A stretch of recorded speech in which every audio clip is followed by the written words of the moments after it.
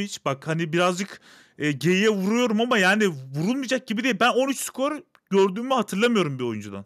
Yani, eee, yine, eee, her zaman konuştuğumuz PNPL sezon 1 ya da 2'de Arko'nun performansı 10 küsur, eee, kill'lik bir performansı vardı. Onun haricinde ben şu anda böyle bir oynanmış oyun hatırlamıyorum. Yani Tabii, gerçekten eee, inanılmaz. tek başına tek başına 8 kill, 9 kill belki 10 kill'e kadar ulaşan oyuncular vardı ama ben en azından sunumunda olduğum maçlarda şu anda hatırlamıyorum. Eğer Ben de. hatırlayan izleyicilerimiz varsa bize sosyal medyalarımızdan ulaştırsınlar. Yarın onları da konuşuyor oluruz. Hatta bugünün devamında konuşuyor oluruz.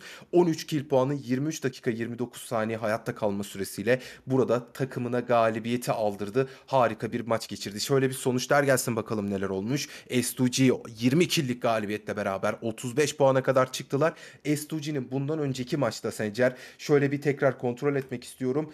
0 puanla geçtiğini hatırlatalım. Demek ki onlar birazcık sinirlenmiş durumdalar. Durumun farkındalar. 2. sırada SMB tarafı var. 1 kill puanıyla beraber 13 puanla bu maçı kapattılar. 2. sırada Chaos Nexia